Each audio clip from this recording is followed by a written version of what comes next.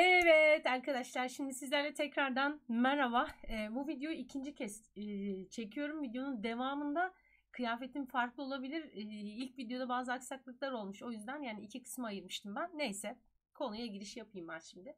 Ee, endokrin sistemin adrenal bezler kısmını işleyeceğiz. Yani Türkçe mealine bakacak olursak arkadaşlar Türkçesi şu böbrek üstü bezler ve birçok yerde siz e, adrenal bezleri arkadaşlar büp olarak okuyabilirsiniz. Yani böbrek üstü bezler diye okunuşunu göre yazılışını pardon görebilirsiniz. Bu bir. İkincisi böbrek üstü bezleri sevgili arkadaşlar biz iki bölüme ayırıyoruz. Bunlardan bir tanesi kabuk bölgesi.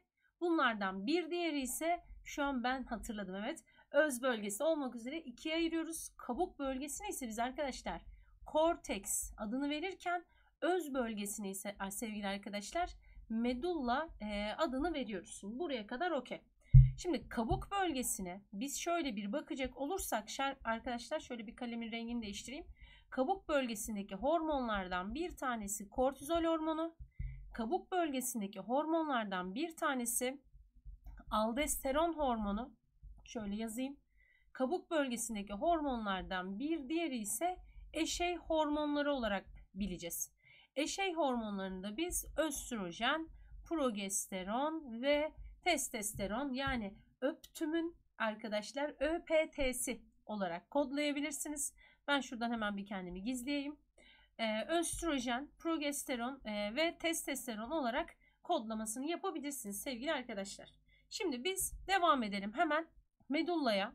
Medullaya bakacak olursam da ben medulladan iki tane hormon e, salgılanıyor. Şimdi bu hormonlardan yani medulla bölgesinden salgılanan hormonlardan bir tanesi sevgili arkadaşlar adrenalin hormonu ve bir tanesi ise nöradrenalin adrenalin hormonu olmak üzere iki tane de burada hormonumuz mevcut olarak bulunuyor arkadaşlar. Yani totalde aslında baktığımızda kortizol 1, aldosteron 2, e, östrojen, progesteron, testosteron 5, adrenalin, nöradrenalin toplamda e, böbrek üstü bezinden salgılanan hormon sayımız bizim kaçmış sevgili arkadaşlar? 7 tane hormon salgılanıyor. Şimdi geldim devam ediyorum. Kabuk bölgesinden salgılanan hormonla devam etmek istiyorum. Bakın kabuk bölgesinden salgılanan hormonlar kortizol, aldosteron ve eşey hormonlarıydı. Öncelikle şunu söylemek istiyorum. Bakın şurayı e, böbrek diye düşünürsek şayet böbrek bu renk olmaz ama burası böbrek olsun arkadaşlar. Şöyle kırmızıyla da gidelim. Bakın şu bizim böbreğimiz. Şöyle de tarayalım. Böbreğin üst kısmında sarı bir bölge bulunur. Hemen şurada bakın. Şurası işte böbreğin üst kısmında bulunan dolaylı olarak böbreğe bağlı olan bakın direkt olarak demiyorum. Dolaylı olarak böbreğe bağlı olan kısma biz ne diyoruz arkadaşlar? Ee, böbrek üstü bezi diyoruz bu kısma.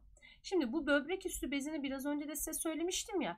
Neydi ee, böbrek üstü bezinin esprisi? İki bölgeye ayrılıyordu. Ne bu bölgelerden? Bir tanesi arkadaşlar korteks bölgesiydi. Bir tanesi ise neydi? Medulla bölgesiydi. Bakın korteks bölgesinden hormon salgılanabilmesi için korteks bölgesinin başka bir hormon tarafından uyarılması lazım. Tekrar ediyorum. Korteks bölgesinden hormon salgılanabilmesi için korteksin başka bir e, arkadaşlar hormon tarafından uyarılması lazım. İşte biz bu hormona ACTH yani adrenokortikotropik hormon diyoruz. Adrenokortikotropik hormonla uyarılması lazım. Adrenokortikotropik hormon nereden salgılanıyordu? Hatırlıyor olmanız lazım. Evet evet hipofizden salgılanıyordu arkadaşlar. Zaten ACTH'in görevi gelip kimi uyarmaktı? Korteksi yani kabuk bölgesini uyarmak bunun göreviydi. Buraya kadar tamamız. Bakın Medulla için böyle bir durum söz konusu değil ama korteksin ne yapılması lazımmış? Uyarılması lazım. Şimdi bunun karşılığında bakın korteksten salgılanan hormonlar kortizol hormonu, aldosteron hormonu ve eşey hormonları bakın buradaki görselde de daha doğrusu e, şemada da size göstermeye çalıştım. Kortizol hormonu ile başlamaya e, başlıyorum. Kortizol hormonu önemli. E, sorularda da çokça karşınıza çıkabilecek hormonlardan bir tanesi. Şimdi öncelikle kortizol hormonunun en önemli görevlerinden bir tanesi sevgili arkadaşlar kan şekerini yükseltmek. Zaten totalde kan şekerini yükselten 3 tane hormon var.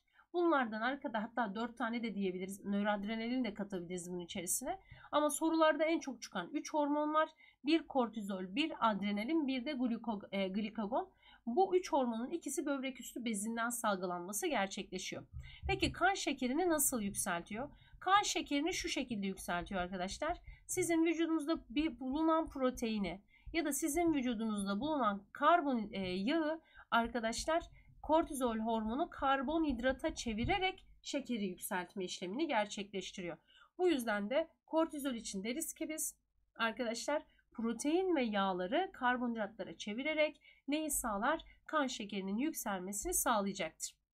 Kortizol hormonu ayrıca protein parçaladığı için de bol miktarda da azot yani bir diğer adıyla amonyak açığa çıkarır. E, amonyak açığa çıkması demek e, kişinin üre, üre miktarının artması hatta arkadaşlar idrarında azot miktarının vücutta azot miktarının artması anlamına gelmektedir. Neden diyecek olursanız şayet hatırlıyorsanız bakın bir amino asitin yapısında karboksil grubu vardı, hidrojen grubu, radikal grup ve amino grup vardı.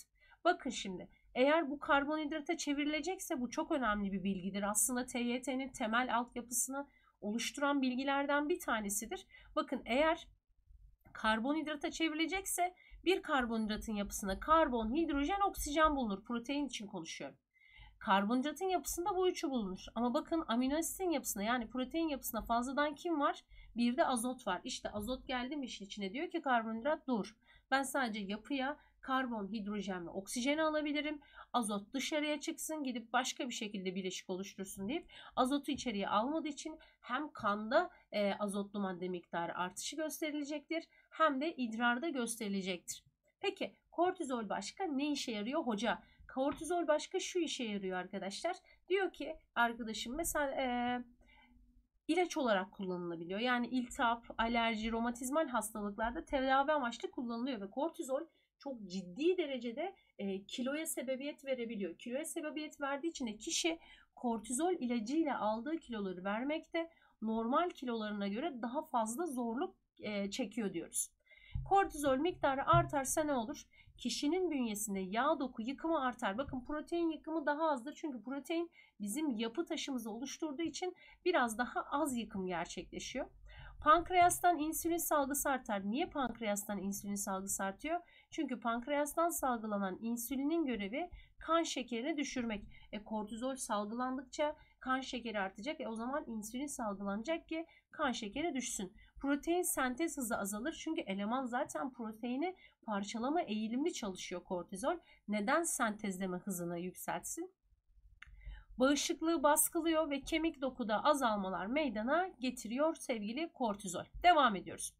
Aldosteron bir diğer hormon. Bakın aldosteron hor aldes aldosteron hormonu ile en fazla karıştırılan hormonu yazayım ben size arkadaşlar.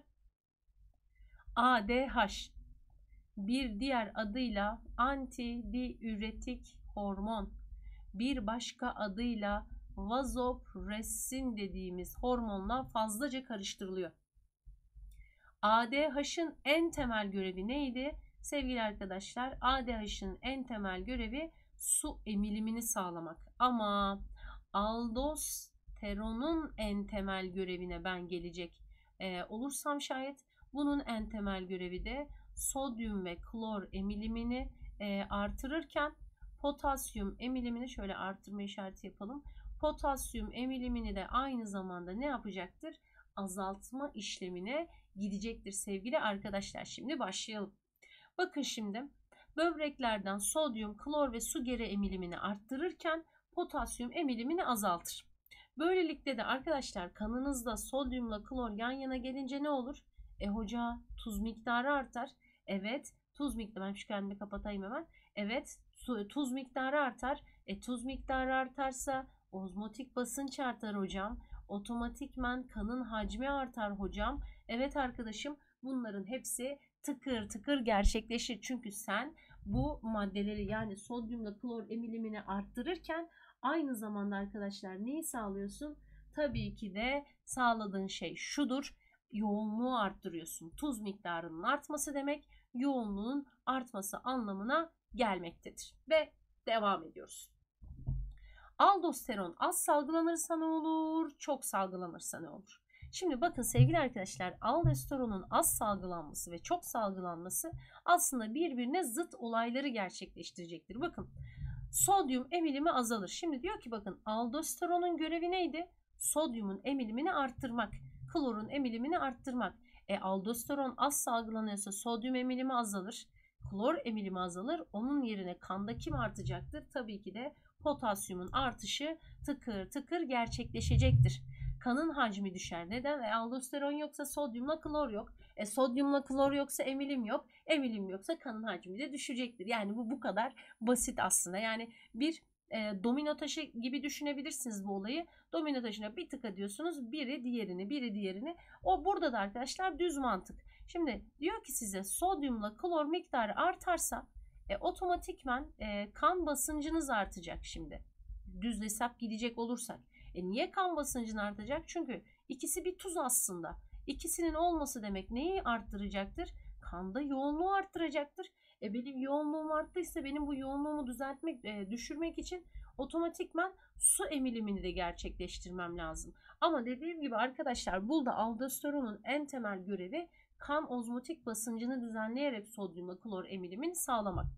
Ozmotik basınç düşer, hücrelere besin girişi azalır, iştahsızlık ve hal, e, halsizlik artmasıyla beraber bir de addison yani tunç dediğimiz deri hastalığı gözlenir. Şimdi siz diyeceksiniz ki bu hoca niye tunç kalp için aldı? Orası da bizde kalsın arkadaşlar. Mazi kalbimizde bir yara demeyelim yara falan değil de öyle bir aklıma geldi. Şu an Hatta şimdi biri biri görür yanlış anlar.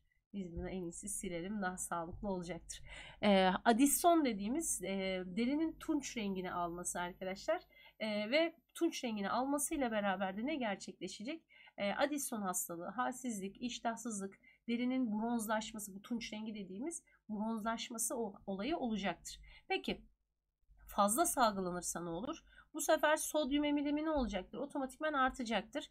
E, potasyum emilimi azalacak. Potasyum eksikliğinden dolayı kaslarda ve e, zayıflama ve böbrek yetmezliği meydana gelecektir. Çünkü potasyumlu arkadaşlar böbrek için en önemli e, minerallerden bir tanesi ki zaten biz TYT'de işlerken diyoruz ki mineralleri anlatırken mineraller eksikliğinde de fazlalığında da arkadaşlar olumsuz etmenleri oluşturan en temel olaylardandır kan basıncını artar dedik. Çünkü emilim gerçekleşecek. Kan hacmi artar ve böbreklerden süzülme oranı da ne yapacaktır? Artış gösterecektir. Geldim son eşey hormonlarına yani son diyorum da bu videonun bu son kısmı sonrasının devamını çekmiştim zaten. Eşey hormonlarına gelecek olursak biz sevgili arkadaşlar östrojen hormonu, progesteron hormonu ve testosteron hormonu salgılanmaktadır. Şimdi bu buradan salgılanan yani böbrek üstü bezinden salgılanan hormonlar sevgili arkadaşlar hem dişi bireylerde e, salgılanmaktadır hem de erkek bireylerde salgılanması gerçekleşir. Yani bu gördüğümüz arkadaşlar böbrek üstü bezinden salgılanan östrojen hormonu hem dişi hem erkekte salgılanır. Buradan salgılanan bu progesteron dediğimiz hormon hem dişide hem erkekte salgılanır ve yine testosteron dediğimiz hormon hem dişide hem de erkekte salgılanma olayı gerçekleştirir ve üçünün görevi de arkadaşlar ikincil cinsiyet e, özelliklerini ortaya çıkarmak. İşte ne bileyim vücudun kıllanmasıdır, işte sesin incelmesidir falan filan dediğimiz olaylar. Yani aslında bunu şuraya çekebiliriz. Hani diyoruz ya kadınlarda testosteron, erkeklerde de östrojenle progesteron var. İşte bu ortak bulunan bu kısım böbrek üstü bezinden salgılanan kısım. Çünkü eşeysel bezlerde şimdi dişilerin eşeysel bezinden testosteron salgılanmaz. E testosteron varsa nereden salgılanıyor? İşaret ettiğim yer neresi arkadaşlar? Böbrek üstü bezinin kabuk bölgesinden salgılanıyor. Evet bir sonraki videonun devamını zaten akabinde hemen izleyeceksiniz. E, görüşürüz arkadaşlar. Şimdi adrenalin görevlerine hemen bakalım. Başka ne görevleri varmış? Adrenalinin arkadaşlar korku, heyecan, öfke, stres, tehlike durumlarında miktarı artar. Yani adrenalinin miktarı ne zaman artar sorusunun cevabı bunlar.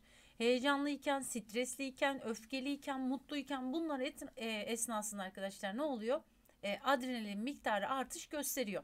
Kalp atış hızını arttırır. Zaten arkadaşlar böyle korktuğunuzda ya da böyle e, bir tehlike olduğunda hemen ne olacaktır? Bir kalp atışınız hızlanacaktır. Ya da tam Icardi gol atmıştır arkadaşlar. Ne olur heyecanlanırsınız. E, kalp atışlarınız hızlanır. Otomatikman soluk alıp vermeniz de ne yapacaktır? Buna bağlı olarak artacaktır sevgili arkadaşlar. Göz bebeklerinizin büyümesi gerçekleşir. Glikojen hidrolizini uyarır. Bakın e, ne yapar dedim ben biraz önce? Kan şekerini arttırır. Peki kan şekerini nasıl arttırıyormuş? Karaciğerde bulunan fazla glikojenin neye çevrilmesini sağlıyormuş sevgili arkadaşlar? Glikoza e, çevrilmesini sağlıyormuş ve böylece de ne artıyor? Kanda kan şekeri miktarı artış gösteriyor. Ayrıca beyin, çizgili kas ve kalbe giden damarları genişletir.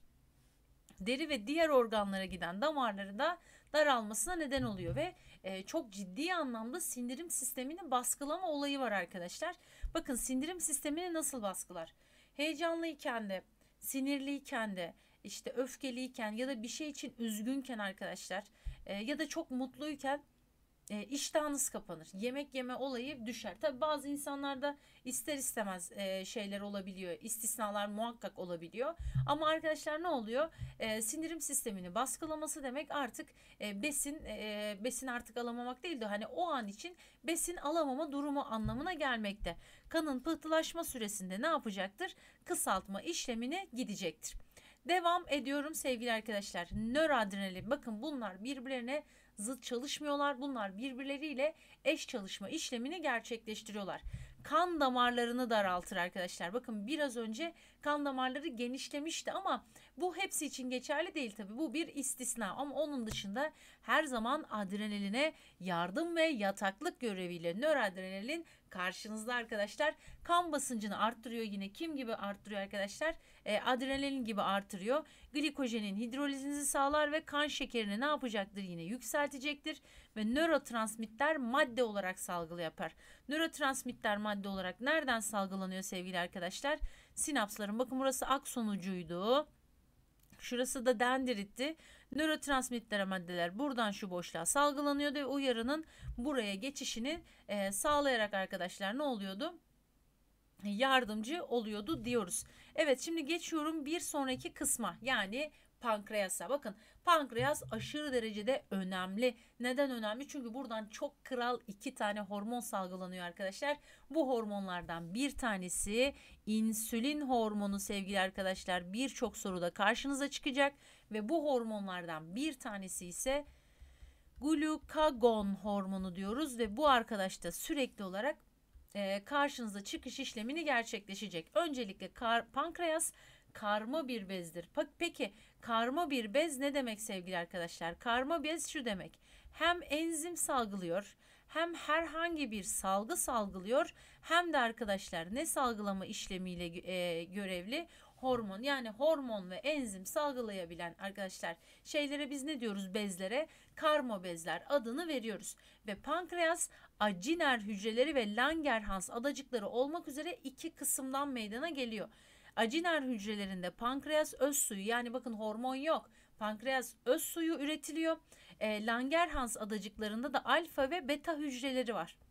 Langerhans adacıklarının bu alfa ve beta hücrelerinden de hormon salgısı üretiliyor arkadaşlar. Şimdi başlayalım. İnsülin hormonu bakın adı üstünde in, inmekten yani düşürmekle ilgili. Ne yapacak bu arkadaşlar?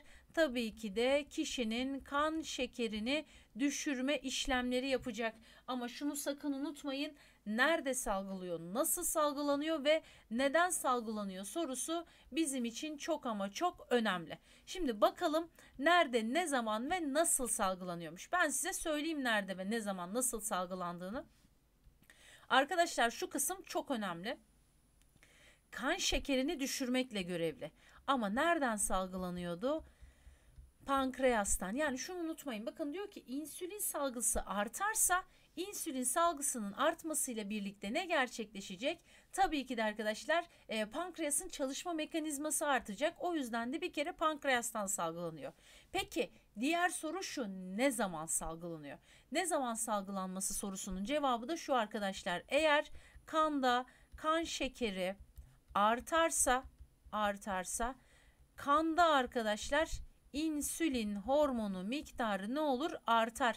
Sorulara cevaplarınız bu şekilde olacak. 1. Ne zaman salgılanır ve nereden salgılanır? Nereden salgılanır? Pankreastan salgılanır. Ne zaman salgılanır? Kanda kan şekeri artarsa insülin kan şekerini düşürmek için salgılanır arkadaşlar. Devam ediyorum protein ve yağ sentezini artırır. Şimdi çok fazla karıştırılıyor bu kısım. Hocam işte en çok hangisi hangi işlemi gerçekleştiriyor diye işte hangisi protein hangisi yağ. Şimdi bu adam karbonhidrat sentezini arttırırsa zaten kanda karbonhidrat var. Niye bir daha karbonhidrat sentezini arttırsın ki?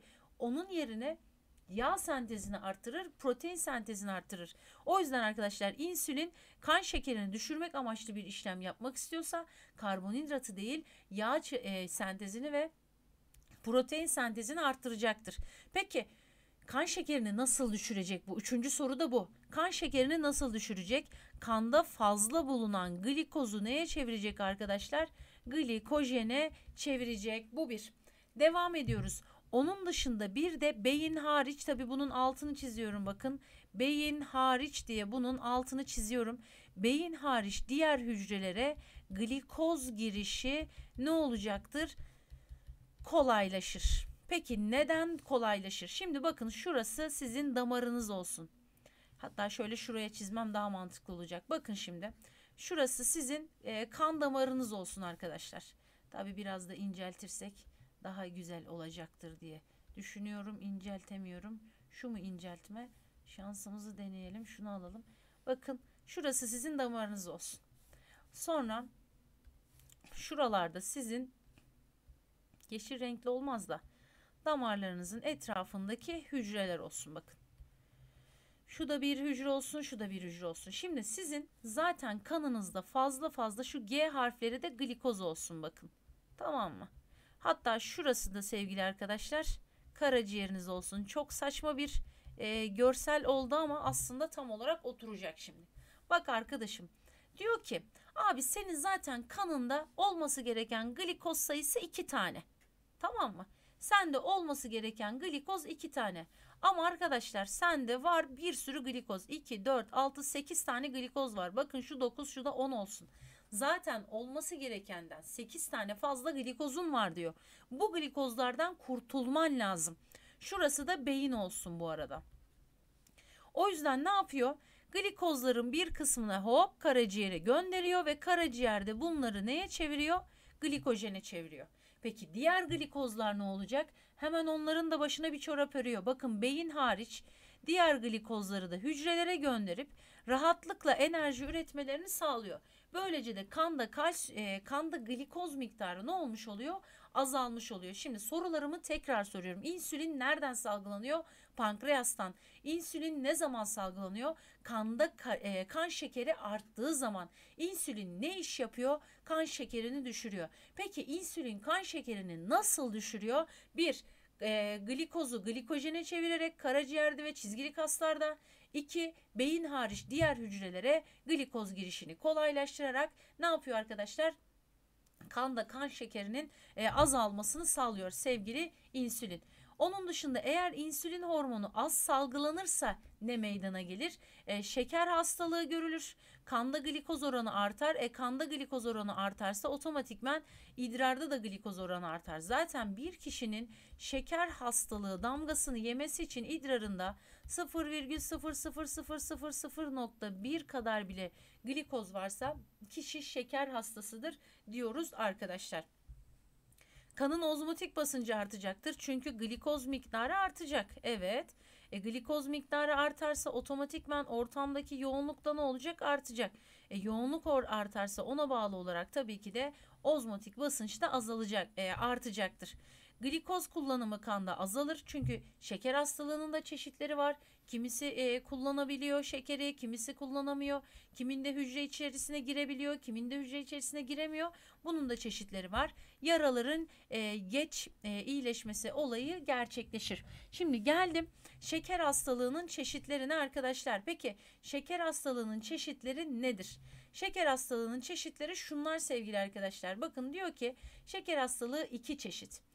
Bir, bunlardan bir tanesi şu tip 1 diyabet, Bir diğeri de arkadaşlar tip 2 diyabet olmak üzere iki çeşit şeker hastalığı var.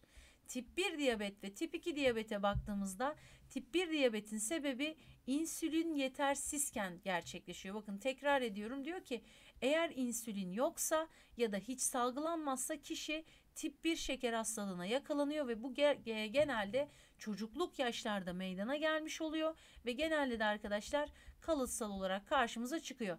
Peki kişi nasıl tedavi oluyor? Kişi dışarıdan arkadaşlar insülin takviyesi olarak tedavi işlemini gerçekleştiriyor. Geldim tip 2 diyabete. Tip, tip, tip 2 diyabette de arkadaşlar diyor ki insülin var. Orada hiçbir problem yok. Ama insülini algılayacak olan reseptör çalışmıyor. Reseptör çalışmadığı için de otomatikman kanda yine şeker artıyor. Peki bu kişi nasıl e, tedavi olacak? Bu kişi sevgili arkadaşlar diyet yaparak tedavi olacak. İnsülin olduğu için dışarıdan tekrar insülin desteğine bu hasta için geçerlilik sağlamıyor arkadaşlar. Geldim glikagona. Nereden salgılanıyor bu glikagon? Pankreastan salgılanıyor. Peki bu glikagon ne zaman salgılanıyor? Sevgili arkadaşlar glikagon kanda kan şekeri düşerse salgılanıyor. Peki bu glikagonun görevi ne arkadaşlar?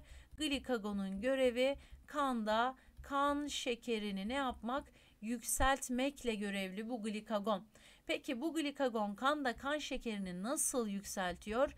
Karaciğerde bulunan glikojeni gidiyor, glikoza çeviriyor ve kan şekerini yükseltiyor arkadaşlar. Böylelikle de kanın ozmotik basıncını yine ne yapmış oldu? Arttırmış oldu. Çünkü gerçekleştirdiği olay ne? Glikojeni glikoza çeviriyor ve ortamdaki neyi arttırıyor aslında tekrardan? yoğunluğu arttırmış oluyor diyoruz ve yağların hidrolizini sağlar. Bakın biraz önce insülin ne yapıyordu? Yağların sentezlenmesini sağlarken burada ise arkadaşlar yağların neyini sağlayacak?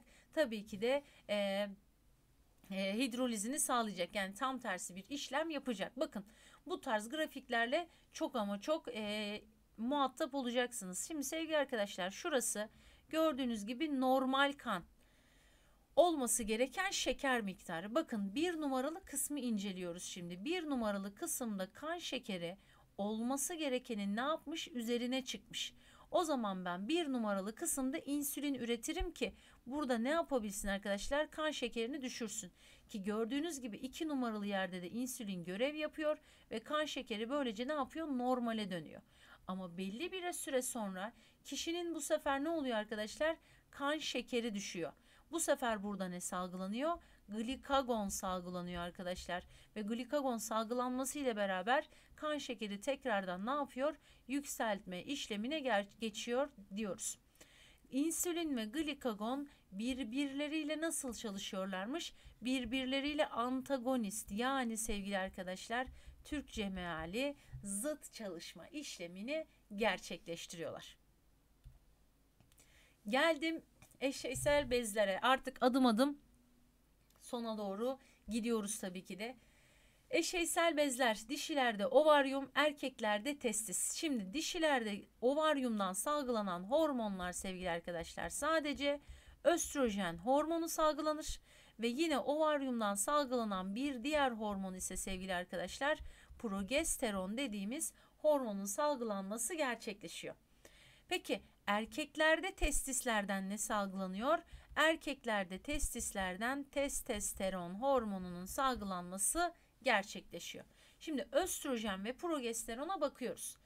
Hipofizden FSH ve LH hormonlarının uyarılmasıyla bakın FSH hormonu H ile bitiyor bakın hipofiz hipofizden gelir e, ovaryumu uyarır ve ovaryumda da bunun karşılığında arkadaşlar östrojen hormonu salgılanır. Östrojen hormonu ne yapıyor tabii ki de e, işte kan damarlarının oluşumunu sağlıyor. Hemen bir kendimi kapatan ben. E, kan damarlarının oluşumunu sağlıyor. Onun dışında arkadaşlar ee, daha sonra ne denir? Ee, bebeğin e, gelişimi için yardım ediyor, duvarların e, oluşmasını sağlıyor gibi durumlar östrojen tarafından salgılanıyor, sağlanıyor. Peki Daha sonra ne oluyor? Bir de LH hormonu var. Bakın yine hipofizden salgılanıyor ve LH hormonunun görevine bakacak olursak LH hormonu da gidip yine nereye uyarıyor? Tabii ki de ovaryumu uyarıyor. Ve ovaryumu uyarmasıyla birlikte hangi hormon salgılanıyor? Progesteron hormonu salgılanıyor ve progesteron hormonu bebeğin e, anne rahminde kalma süresini e, uzatıyor. E, kişinin daha doğrusu hamile kadının düşük yapma riskini azaltıyor. Kılcal kan damarlarını genişletiyor, genişletiyor, genişletiyor ve ne oluyor sevgili arkadaşlar? Böylece endometriyuma embriyonun tutunmasını sağlayarak kadının düşük yapmasını engelliyor. Geldim testosteron hormonuna. Testosteron hormonunda arkadaşlar hipofiz bezinden LH hormonunun salgılamasıyla beraber neresi uyarılıyor? Testisler uyarılıyor. Testisler de bunun karşılığında testosteron hormonunu salgılatıyor. Testosteron hormonu erkeğin e, sperminin hareket etmesine, erkeğin sperminin beslenmesine, erkeğin sperminin döllenme yeteneği kazanmasını sağlıyor ve böylelikle de arkadaşlar e, testislerden salgılanan bu hormon sevgili arkadaşlar ne yapacak? E, erkeklik, ikincil erkek özelliklerinin e, oluşmasını sağlayacaktır diyoruz. Evet geldik bir sonraki kısma yani timüs bezine. Timüs bezi de arkadaşlar bizim tam şu göğüs boşluğumuzda bulunur. Yeni doğan çocuklarda büyükken yaş ilerledikçe ne olacak arkadaşlar? Küçülme işlemi gerçekleşecek ve timüs bezinin görevi bağışıklık sistemini sağlamak ve lenf sistemine bağlı olarak gerçekleşiyor ve timüs bezinde arkadaşlar lenfositler hangi lenfositler? T lenfositi bakın timüs T lenfositi burada ne oluyor arkadaşlar? Olgunlaşma işlemi gerçekleşiyor diyoruz. Geldik epifiz bezine bu sefer de. Epifiz bezinde de beyin yarım küreleri arasında bulunuyor. Epifiz bezi melatonin hormonunun salgılanmasını sağlıyor ve böylelikle de melatonin hormonu salgılandıktan sonra arkadaşlar ne olacak? Biyolojik ritim yani vücut işlemini gerçekleşiyor mevsimsel değişimlere göre. Ve böylelikle de ne olacak tabii ki de e, işte sabah her sabah 7'de uyanıyorsanız ertesi gün 7'de uyanmayacaksanız bile ne olmuş oluyor arkadaşlar? Böylece ne olursa olsun yine de e, sizin o sabah 7'de böyle bir gözünüzü açmanıza sebebiyet veriyor. Tabi uykunuza sonrasında yine ne yapabilirsiniz? Devam edebilirsiniz.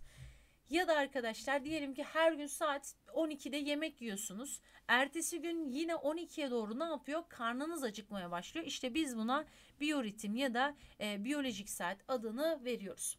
Geldim son kısma. Burası önemli bence. Önemli yerlerden bir tanesi.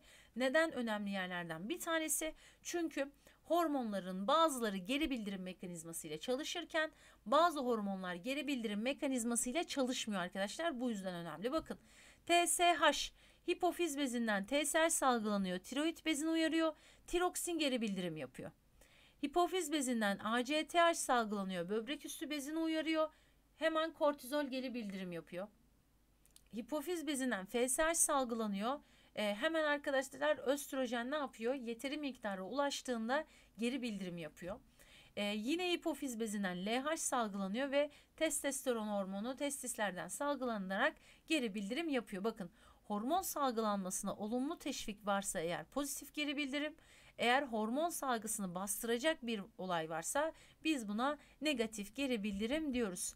Evet sevgili arkadaşlar endokrinin de böylece sonuna gelmiş bulunmaktayız. Beni dinlediğiniz için teşekkür ediyorum. Hoşçakalın. Biyosentezde kalın arkadaşlar.